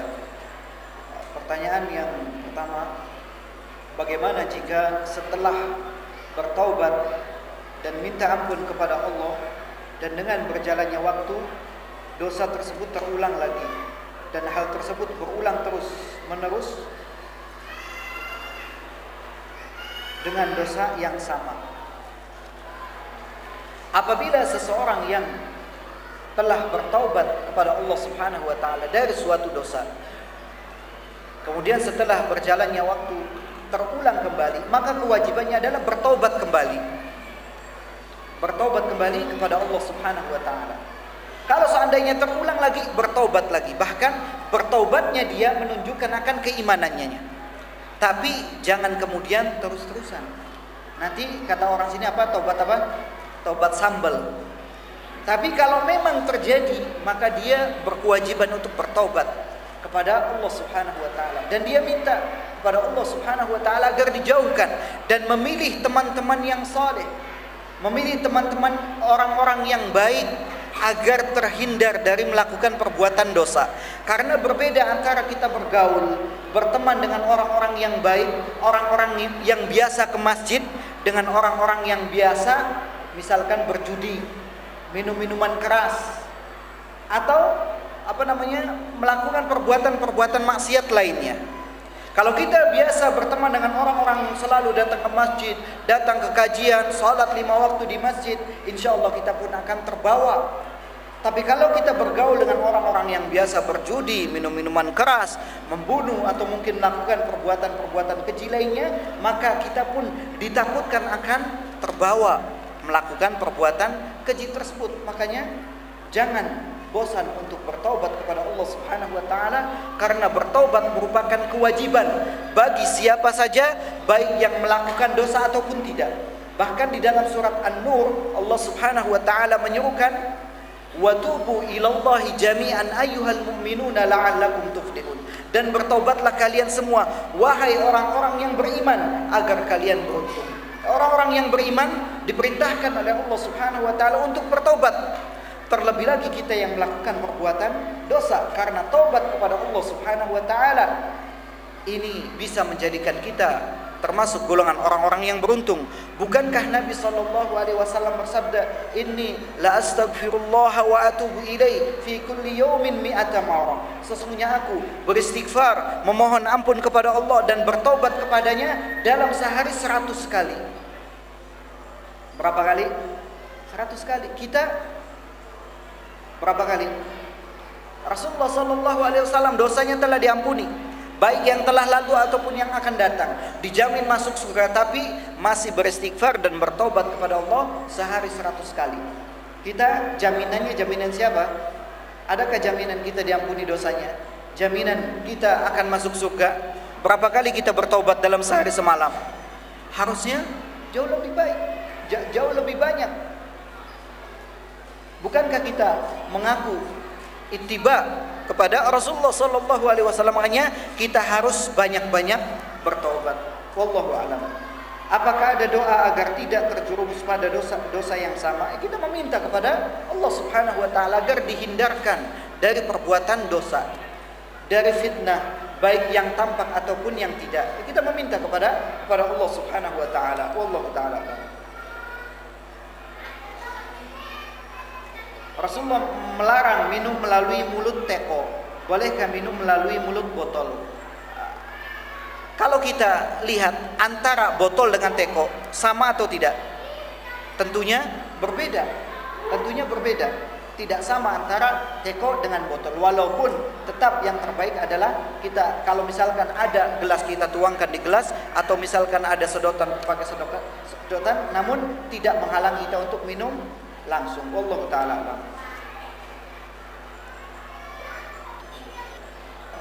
Di atas iman kita turun. Ya tentunya dengan seperti yang kita ketahui bahwasanya al-imanu yazidu bit ta'ah wa yanqusu bil maksiyah. Keimanan itu akan bertambah dengan ketaatan dan akan turun berkurang dengan perbuatan maksiat. Kalau kita ingin tetap terjaga keimanan kita, maka kita harus menjauhi perbuatan-perbuatan maksiat yang tentunya kita juga berdoa kepada Allah Subhanahu wa taala agar selalu melindungi keimanan kita bergaul dengan orang-orang yang soleh orang-orang yang bertakwa agar kita tetap istiqomah dan istiqomah merupakan sebaik-baik rizki dari Allah Subhanahu wa taala. Apabila seseorang bisa istiqamah, maka ini adalah pemberian yang besar dari dari Allah Subhanahu wa taala. Bolehkah kita meninggalkan suatu sunnah untuk beralih ke sunnah yang lain, misal mengganti puasa Daud dan beralih ke puasa Senin Kemis. Dalam melaksanakan sunnah, hendaknya kita melihat dan memilih mana yang kita mampu untuk melaksanakannya. Kalau seandainya kita merasa berat ketika melaksanakan puasa Daud, kita pilih yang lebih mudah. Tapi hendaknya kita continue. Continue, tidak saja sekarang tapi sampai masa tua nanti. Makanya kita pilih yang kira-kira nanti ketika kita sudah tua kita masih mampu untuk melaksanakannya. Jangan terlalu apa namanya? terlalu antusias tapi ternyata di kemudian hari dia akan meninggalkannya. Karena amalan yang terbaik adalah mada mada wa ma'alai wa inqad yang dia terus menerus walaupun sedikit. Jadi boleh saja mana yang dia bisa kontinukan. Wallahu a'lam. Apakah kita akan diazab karena apa yang terlintas di dalam hati kita? Karena terkadang hati dipenuhi rasa ujub, ria, sombong ataupun kita mencoba. Hal ini pernah ditanyakan kepada Rasulullah sallallahu alaihi wasallam dikatakan malam tatakallam bihi. Selama dia tidak ucapkan atau dia tidak kerjakan. Selama melintas dalam hati maka biarkan. Tapi langsung dia tepis. Selama dia tidak ucapkan kalau misalkan terlintas pada dirinya akan mencuri kemudian dia mengatakan saya akan mencuri atau dia mencuri, maka ini yang akan diazab. Adapun yang terlintas saja hendaknya dia langsung menepisnya dan mudah-mudahan hal itu tidak akan berpengaruh kepada dirinya. Wallahu a'lam.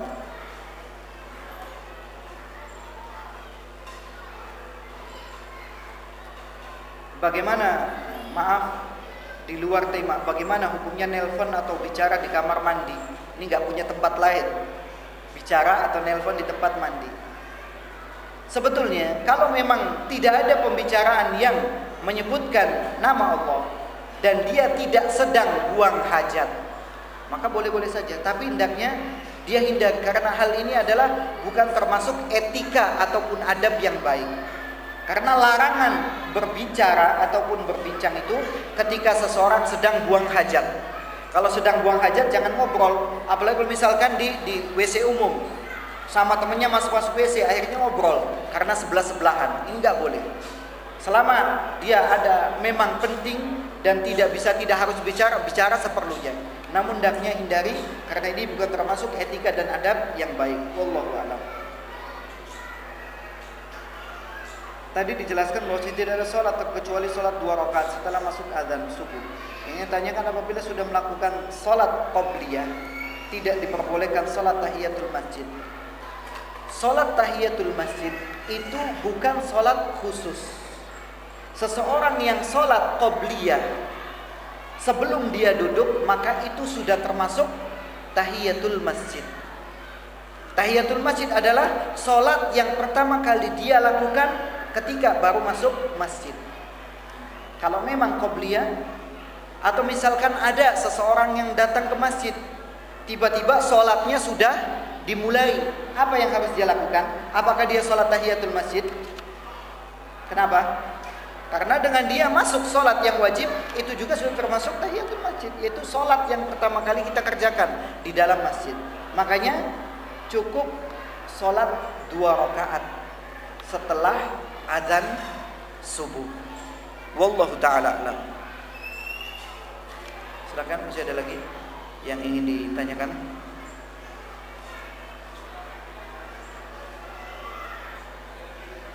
Apa? Salat fajar di rumah. Nah. Salat fajar ataupun qobliyah subuh di rumah. Kemudian dia datang ke masjid. Ini beda dengan orang yang sudah di masjid. Karena orang namanya sholat tahiyatul masjid itu tidak mengenal waktu. Tidak mengenal waktu. Tapi kalau sudah di masjid ini berbeda. Berbeda. Jadi harus harus dibedakan. Allahu a'lam.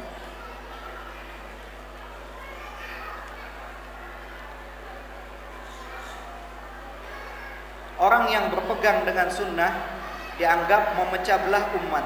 Bagaimana hakikat persatuan itu? Ini ungkapan yang sangat keliru. Ketika orang mengatakan kita bersatu, di atas apa kita harus bersatu? Tentunya kita bersatu di atas Al-Quran dan Sunnah Rasulullah Wasallam. Bahkan justru orang yang tidak mau menjalankan Sunnah, mereka lah yang memecah belah umat. Karena dari zaman dahulu, dari zaman Rasulullah Wasallam, para sahabat, tabiin, tabiut tabiin dan generasi setelahnya semuanya bersatu mengikuti sunnah Nabi Sallallahu Alaihi Wasallam. Ketika ada orang yang tidak mau mengikuti sunnah, berarti dia sedang memecah belah umat. Suatu hal yang sangat keliru. Kalau menjalankan, menghidupkan sunnah adalah memecah belah umat. Allah Taala alam. Silakan. Masih ada.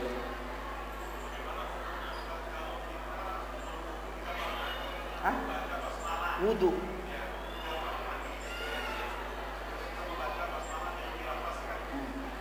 Ketika seseorang yang berwudu di dalam kamar mandi, maka dia tidak melafadzkan basmalah pada saat itu, tapi dia ucapkan di dalam hatinya, tidak dilafazkan.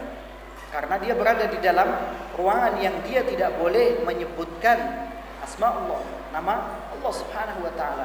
Kalau dia di kamar mandi maka mengucapkannya di dalam di dalam hati.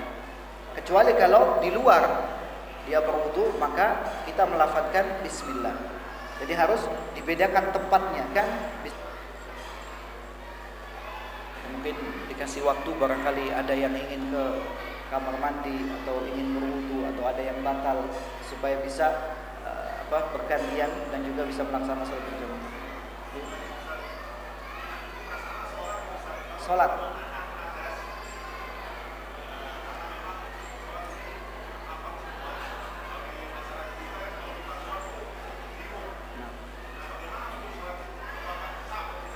Sebetulnya kita dilarang lewat itu di depan imamnya. Adapun di depan makmum kita tidak apa-apa lewat. Karena larangan lewat itu di di, di sutrohnya. Sedangkan makmum sutrohnya adalah imamnya. Jadi kalau memang batal, ya dia jalan melewati orang yang sholat tadi. Dan ini tidak apa-apa. Itu akan menghilangkan kehusuan akan menghilangkan sedangkan uh, Nabi Shallallahu Alaihi Wasallam uh, mengingatkan bahwasanya seseorang janganlah janganlah dia akhbasan sedangkan dia sedang menahan-nahan dua dua hal yang buruk. Akhbasan yaitu dua uh, hadas.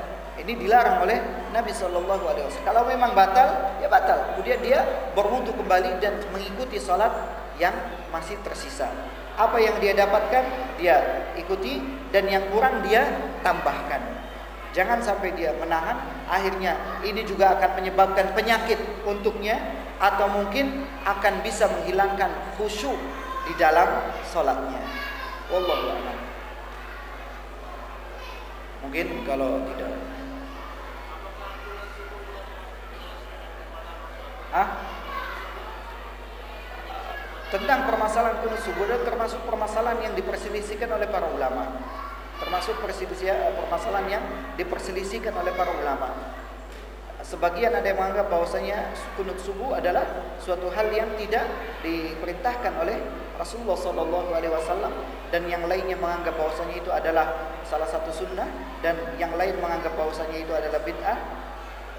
Tapi seseorang yang dia sholat subuh dan dia tidak membaca salat membaca kunut Al Imam Ahmad pernah uh, mengatakan bahwasanya orang yang uh, salat di belakang orang yang membaca kunut hendaknya dia mengikuti. Tapi kalau memang dia tidak dan uh, imamnya apa namanya tidak membaca kunut imamnya membaca kunut boleh saja bagi dia untuk tidak mengikuti. Kalau dia berkeyakinan bahwasanya itu bukan termasuk bukan termasuk sunnah Nabi Shallallahu Alaihi Wasallam. Namun janganlah hal ini menjadikan seseorang berpecah belah. Hendaklah dia tetap bersatu di atas sunnah Nabi Shallallahu Alaihi Wasallam. Aku lu qauli hadza wa astaghfirullah li wa lakum. Subhanakallahumma rabbana wa bihamdika asyhadu an la ilaha illa anta astaghfiruka wa atubu ilaik. Wa sallallahu ala nabiyyina Muhammad wa ala alihi wa sahbihi wasallam. Wa akhiru da'wana alhamdulillahi rabbil alamin. Wassalamu alaikum warahmatullahi wabarakatuh.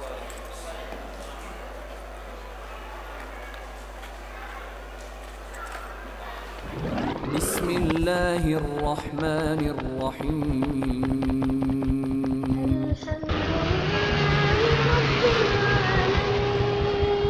الرحمن الرحيم إياك نعبد وإياك نستعين اهدنا الصراط المستقيم sekali saja di majelis ilmu bisa jadi itu menjadi sebab modal untuk kamu masuk ke dalam surga Allah.